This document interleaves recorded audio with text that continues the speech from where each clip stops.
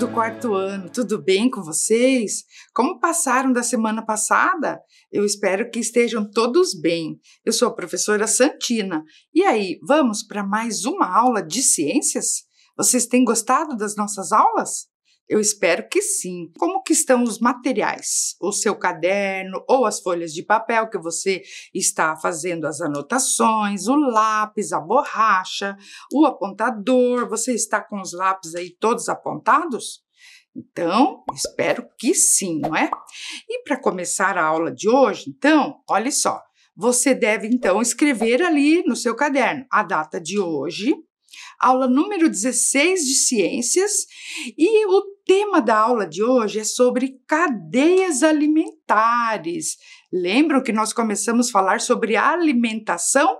Então, o tema da aula de hoje é cadeias alimentares. Eu vou dar um tempinho para você fazer essas primeiras anotações e eu já volto.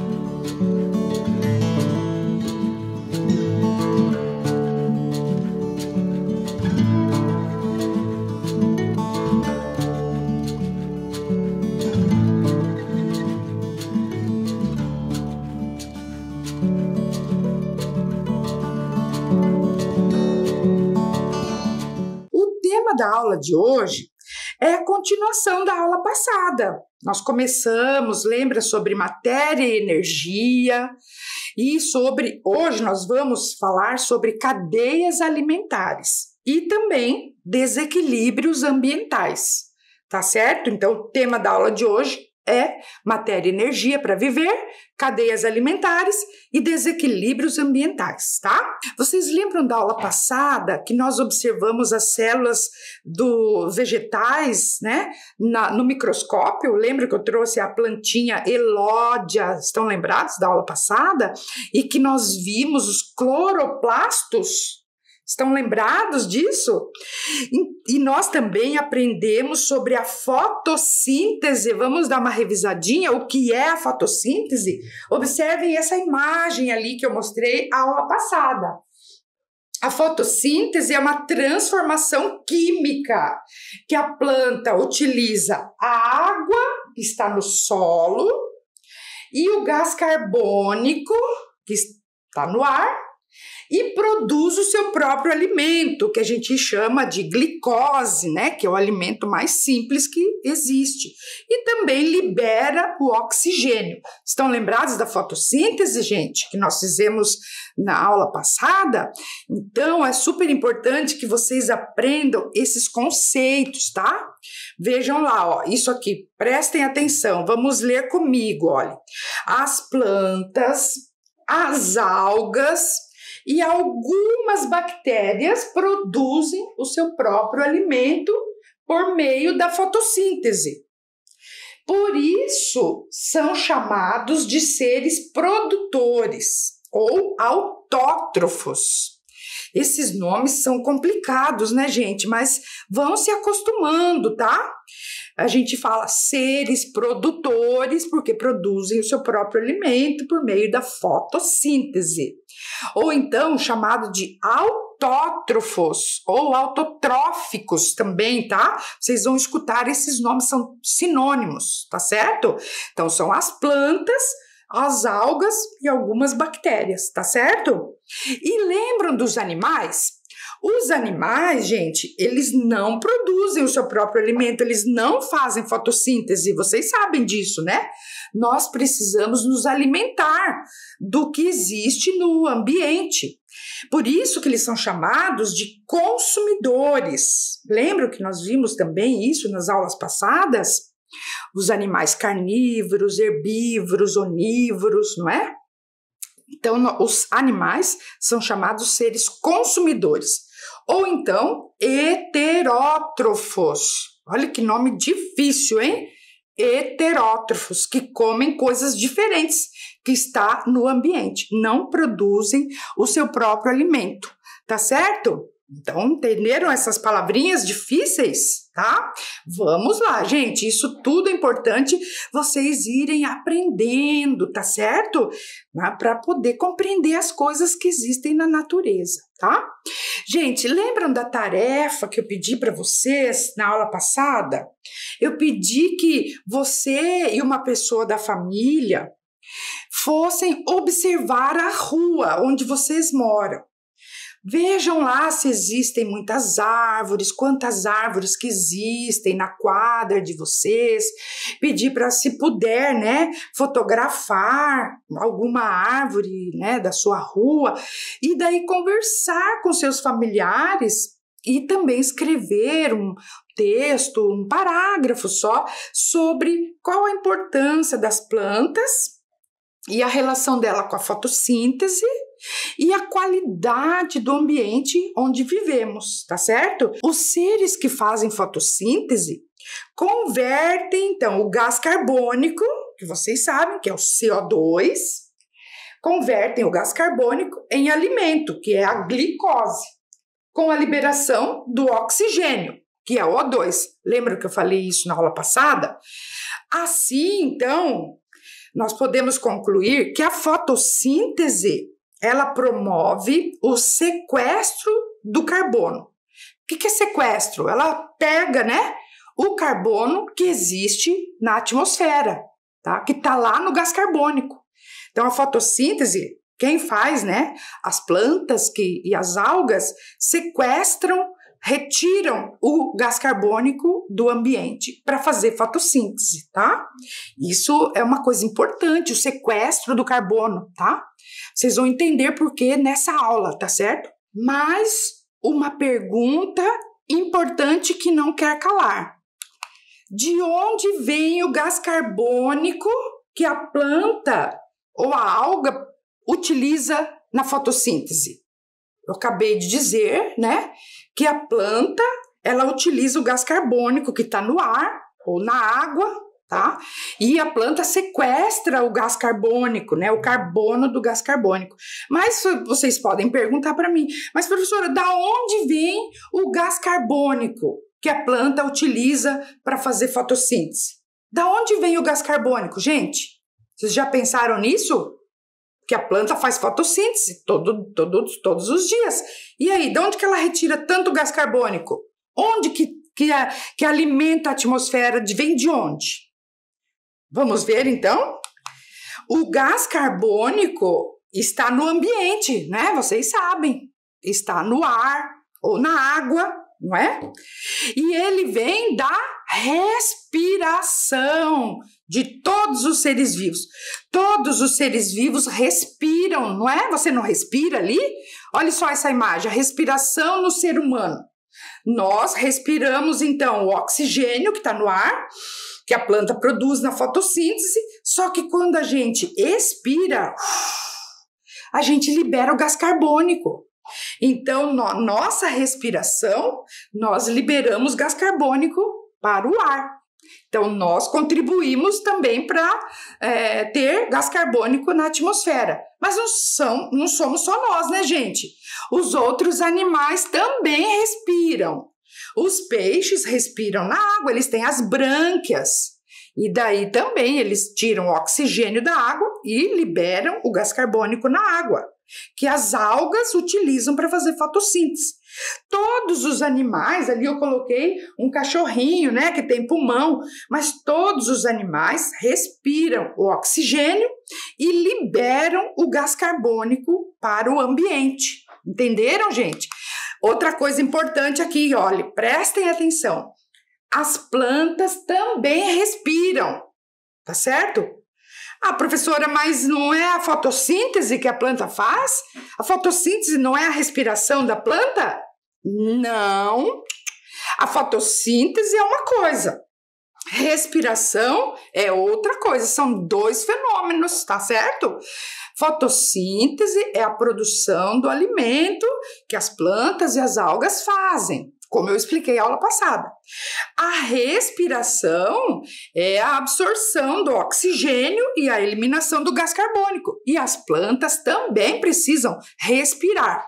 E elas respiram o tempo todo, não é só à noite, não, que as pessoas têm às vezes isso na cabeça, né? Que a planta respira de noite e vai roubar o oxigênio. Não é verdade isso, tá? Isso é tudo mito. Então, as plantas fazem fotossíntese, tem a fase, claro, durante o dia e durante a noite, e elas respiram o tempo todo como nós. Entenderam? Então, a respiração é a forma como a natureza encontrou de colocar o gás carbônico no ambiente, tá certo? Seria muito tranquilo se fosse só isso, mas vamos ver então, né, como que isso acontece, tá? Então a respiração no ser humano, dos outros animais e das plantas contribuem para o gás carbônico na atmosfera. Mas olhem aqui, ó, na verdade, gente, o gás carbônico ele é um composto importante e precisa ser mantido na atmosfera, tá? Eu trouxe aqui uma imagem, olha só, vamos entender essa imagem, que está mostrando a composição da atmosfera terrestre. Olhem ali. 78% da atmosfera, do ar que nós respiramos, gente, tem nitrogênio nitrogênio. Já ouviram falar desse gás? Então, a atmosfera, o ar que nós respiramos, tem 78% de nitrogênio. Depois a gente vai entender qual a importância desse gás. Continuando, olhe lá. 21% é composto, composto de oxigênio, que é o gás importante para nossa respiração. E só, vejam lá, uma fatiazinha bem pequenininha, que é 1%, é que é de gás carbônico, vapor de água e outros gases. Tá? Então, é uma quantidade pequena de gás carbônico que existe na, na atmosfera. Mas é importante essa quantidade de gás carbônico na atmosfera, sabe por quê? Olhem aqui o próximo slide que eu vou mostrar para vocês. Por causa de um fenômeno chamado efeito estufa. Já ouviram falar desse fenômeno? O efeito estufa é um fenômeno que permite a vida aqui na Terra. Observem aqui essa imagem, gente. Olha só como que acontece o efeito estufa. Então, nós vivemos aqui no planeta Terra. Vocês estão vendo ali a imagem do planeta Terra? Então, tem ali a atmosfera, que está representado ali, né, pela linha azul.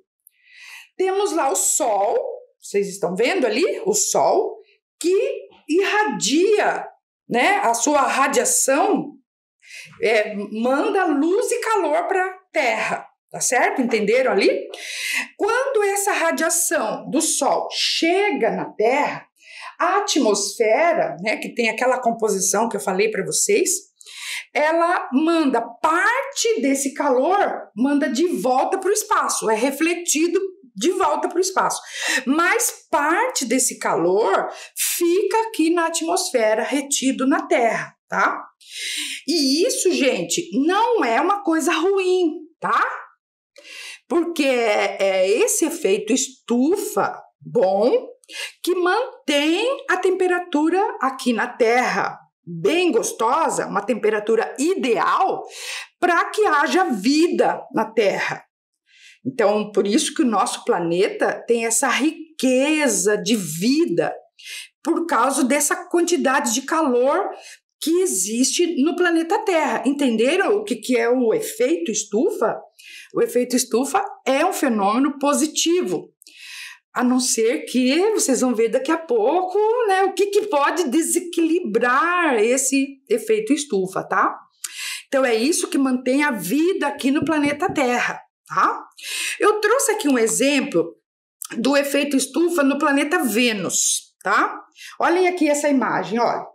Então, lá o planeta Vênus também tem uma atmosfera. Só que a atmosfera de Vênus tem muito gás carbônico. Observem ali, ó. Tem muito gás carbônico na atmosfera de Vênus, tá? E isso faz com que o calor fique retido no planeta.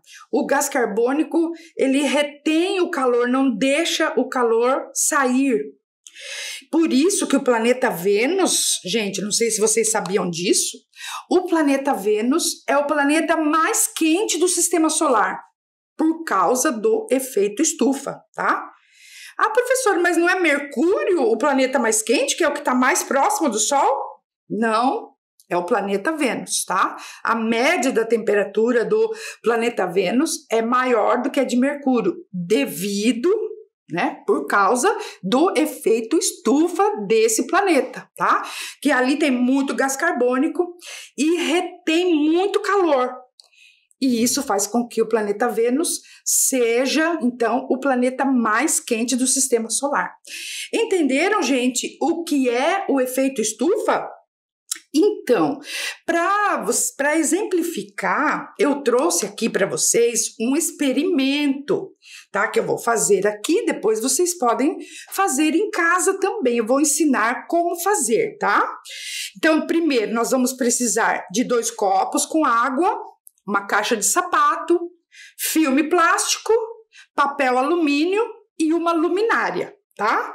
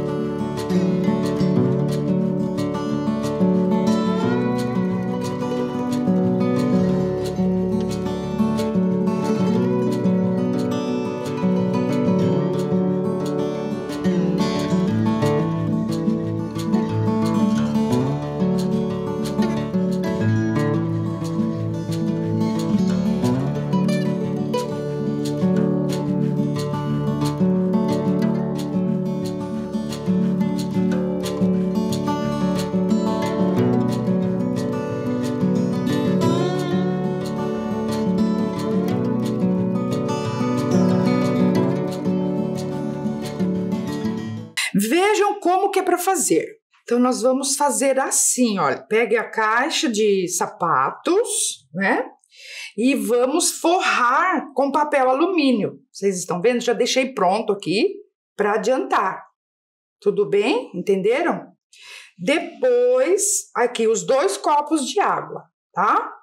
Então, um dos copos eu vou colocar dentro da caixa com papel alumínio, forrado de papel alumínio. Depois eu vou cobrir a caixa com o filme plástico, tá? Então vejam lá. Vocês peçam ajuda para uma pessoa ali da sua família para que fique bem fechadinho, tá? E também para ajudar a cortar ali com uma tesoura o papel, o, o plástico, tá? Olha só como eu vou fazer. Tá? Cuidado ali, peça sempre ajuda para uma pessoa adulta, né, para que não ocorra acidentes ali, ok? E daí fechem bem fechadinho, tá? Aqui tá. Isso, deixa bem fechadinho. Se for preciso, utilize fita adesiva para fixar bem o plástico, né? Não deixe entrar nada dentro da caixa, tá? Bem fechadinha, certo? Aí vocês vão fazer o seguinte: ou coloque essa caixa no sol, num dia que estiver bem iluminado, ou então vocês utilizam uma luminária como essa, né? E deixe né, esse experimento assim, ó, os dois copos com água, um fora da caixa e o outro dentro de uma caixa fechada com papel alumínio e fechado com plástico. Deixe ali durante uns 15 minutos, tá? E daí nós vamos aguardar, então, isso você pode fazer depois, tá? Porque aqui eu já vou mostrar o resultado para vocês, mas temos que aguardar em torno de 15 minutos, tá certo? Então vamos lá. Depois de 15 minutos, gente, vocês podem apagar a luminária ou é, tirar lá do sol. Daí vocês retirem o plástico, tá? De cima e vejam a temperatura da água do, de cada um dos copos. Vocês podem fazer isso colocando o dedo mesmo em cada um deles e observe, né, o qual, qual está mais quente, tá? O que, que vocês acham? Qual vai estar mais quente? Hum? Então, eu quero que vocês façam o experimento ali para verificar isso. Esse experimento, gente, ele simula, né? É uma simulação do que seria o efeito estufa.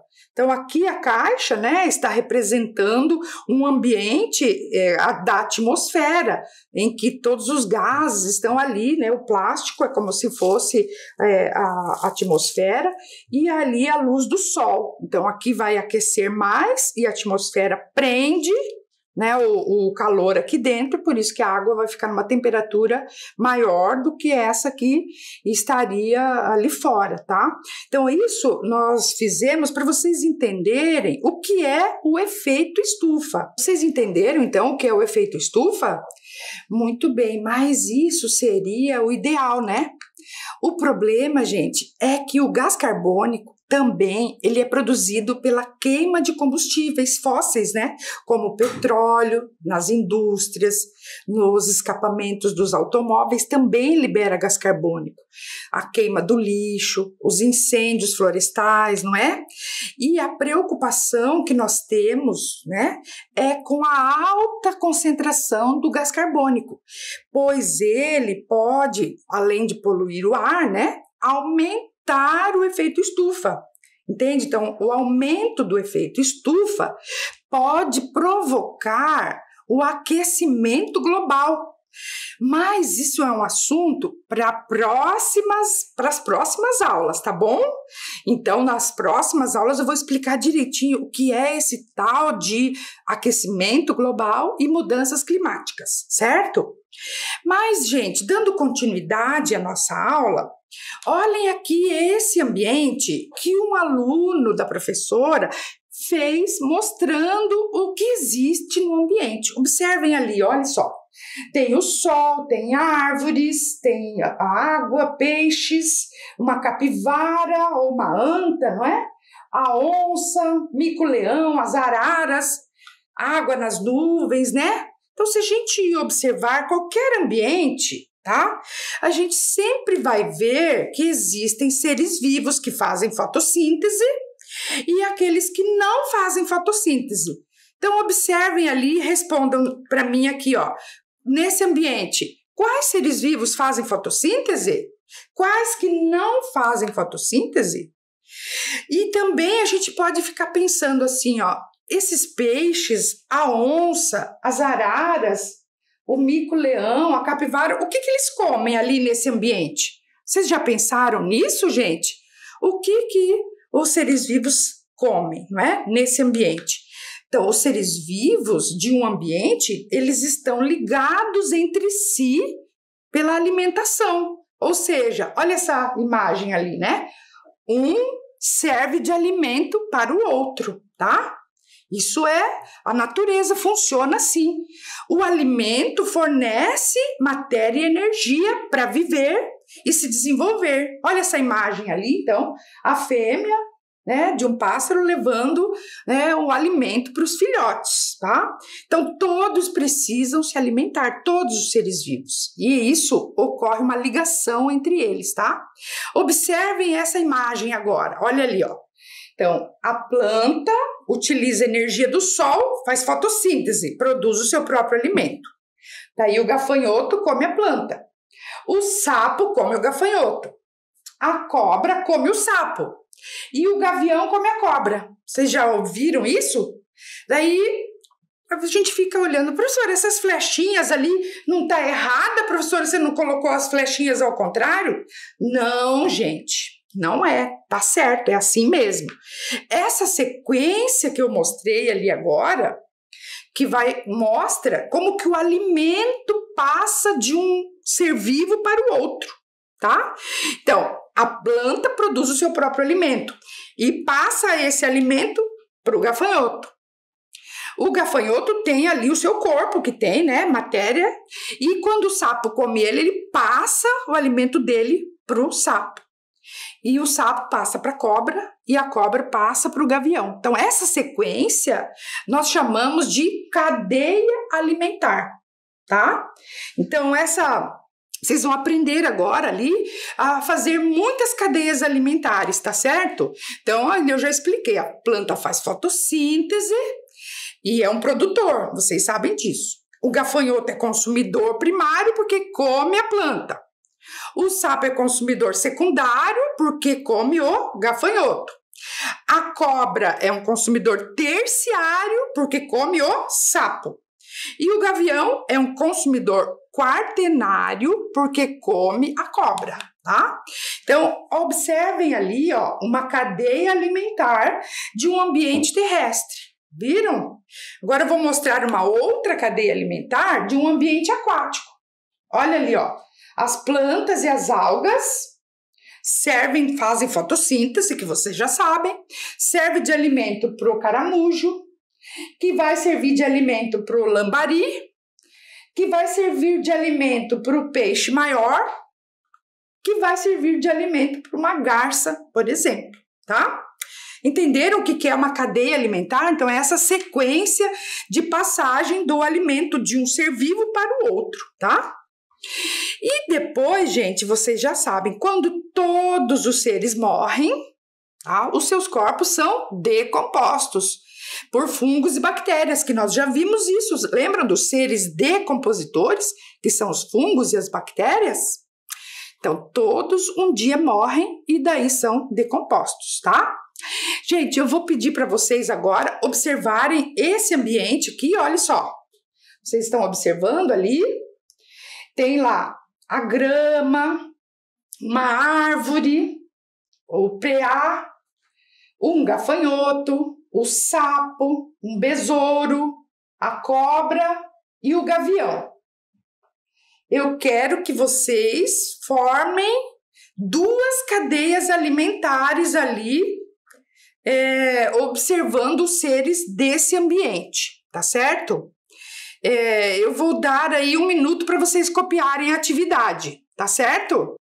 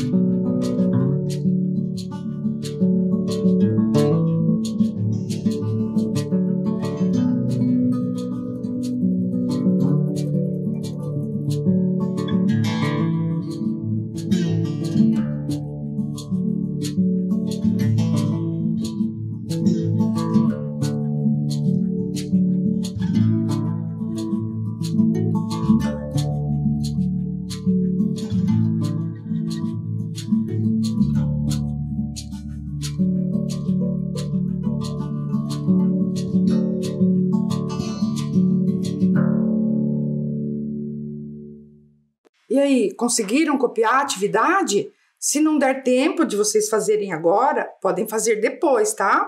Observe novamente ali a imagem e depois vocês podem construir duas cadeias alimentares. Olha o exemplo aqui que eu trouxe, olha. Então, o produtor, eu escolhi a planta, pode ser a árvore ou a grama, tá? O consumidor primário, eu escolhi o preá, porque o preá come a grama, né? Come a planta. Ele é herbívoro. Daí a cobra come o preá. Então o preá passa a energia e o alimento para a cobra, é o consumidor secundário, tá? E o gavião, que é o consumidor terciário, porque ele recebe o alimento da cobra, tá? Vocês entenderam, gente, como que se monta uma cadeia alimentar? Mas o que é importante é vocês entenderem as relações que existem entre os seres vivos de um ambiente, tá? Agora eu vou mostrar para vocês um vídeo que é do projeto Embrião. Esse projeto Embrião é da Universidade Estadual de Campinas, da Unicamp. E é um vídeo bem bacana que mostra um pouco essas relações é, que existem entre os seres vivos de um ambiente. Vamos assistir?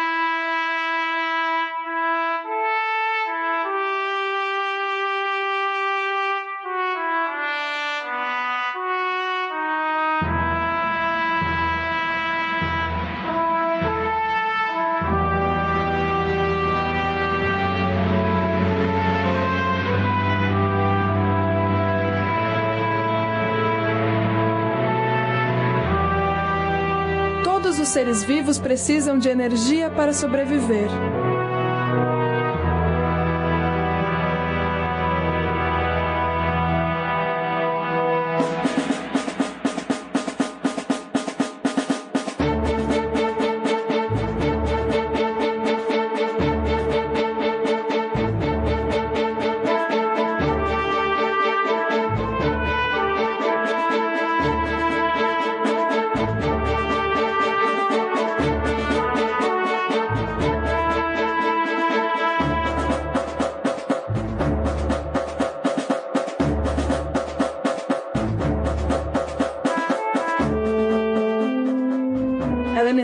Em todos os processos vitais, desde a síntese de um aminoácido até a produção de um órgão.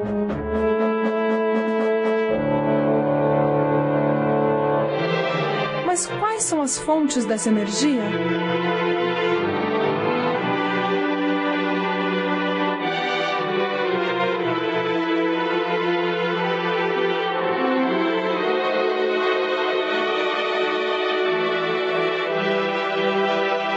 Podemos dividir os seres vivos em dois grupos, dependendo da forma como obtêm energia.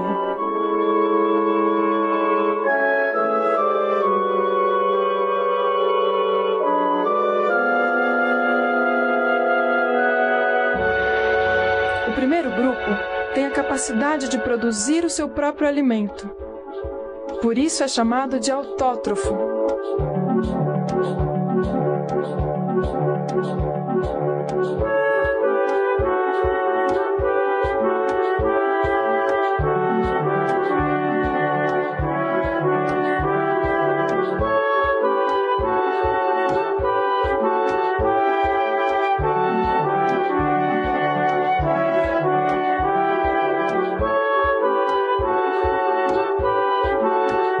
Segundo não tem a capacidade de produzir seu próprio alimento. Por isso, é chamado de heterótrofo.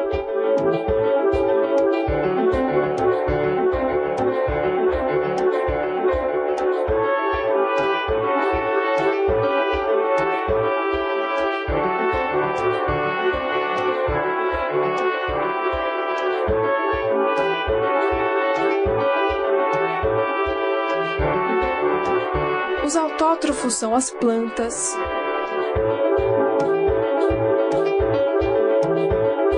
algas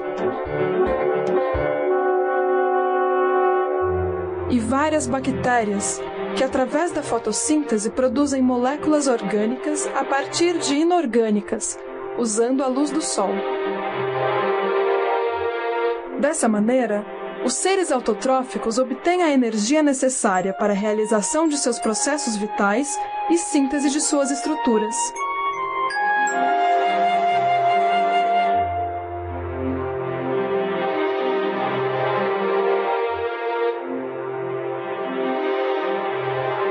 Os heterótrofos são os animais, fungos, protozoários e várias bactérias não fotossintetizantes. Esses organismos obtêm energia ao se alimentar de outros seres vivos.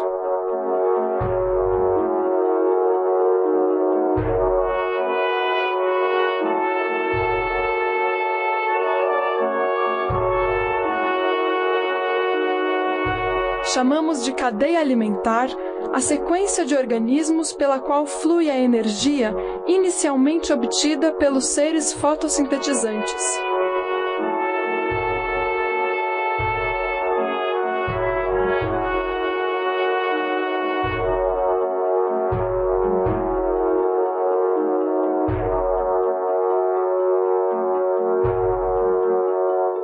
A base de uma cadeia alimentar é composta por seres autotróficos, geralmente plantas e algas, que são conhecidos como produtores.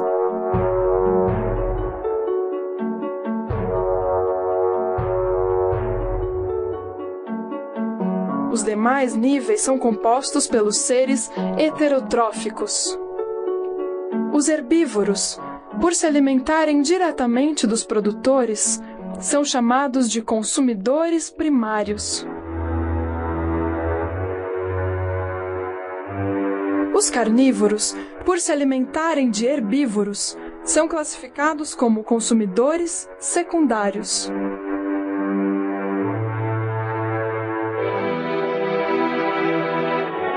Se um carnívoro se alimentar de outro carnívoro, será chamado de consumidor terciário, e assim por diante.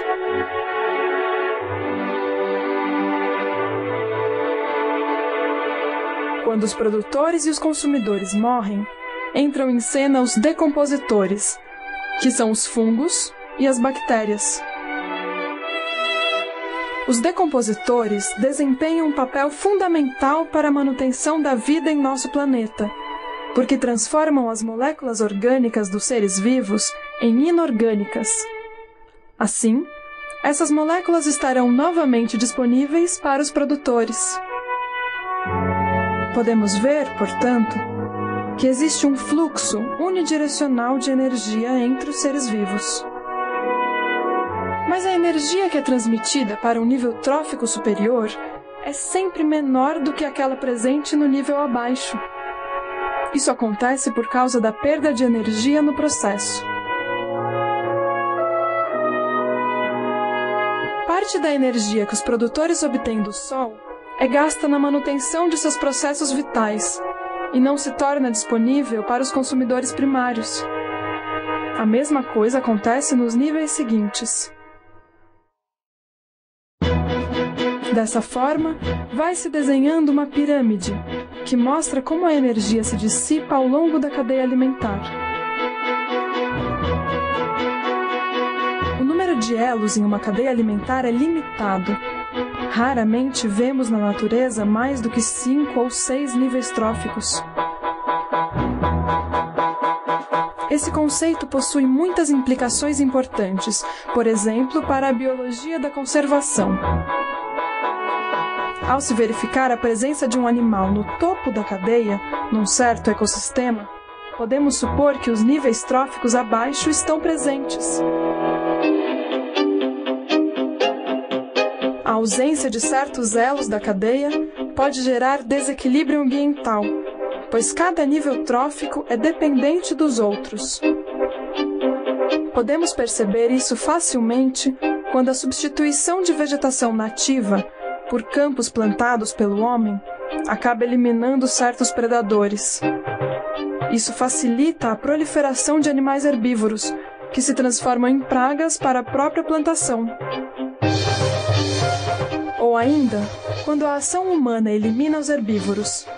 Nessa situação, é comum que grandes carnívoros, como onças pintadas e sussuaranas, passem a procurar alimento próximo a ocupações humanas e acabem matando animais domésticos.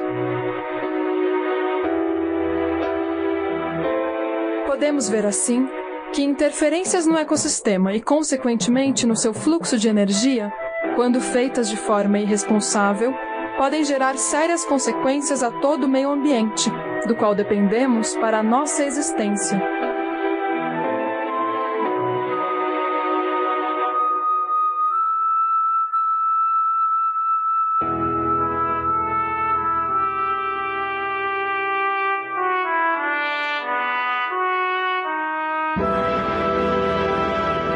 E aí, gostaram do vídeo? Muito bacana, né? Vocês viram quantas relações que existem entre os seres vivos ali? Viram quantos animais, plantas, um precisa do outro para viver. Então agora, gente, ó, eu vou dar uma tarefa para vocês, além daquela lá, tá? Depois vocês fazem ali. Eu quero que vocês elaborem outras cadeias alimentares. Pode ser o que vocês viram no vídeo ou que vocês tenham ali na casa de vocês, mas olha, não esqueçam de utilizar as flechas, tá? Sempre assim, olhe lá, o produtor passa a energia e a matéria para o consumidor primário, que passa a energia e a matéria para o consumidor secundário e que passa a matéria e energia para o consumidor terciário e assim vai, como se fosse uma, é, uma cadeia, uma sequência, tá? Vou dar um minuto para vocês copiarem aqui essa tarefa, certo?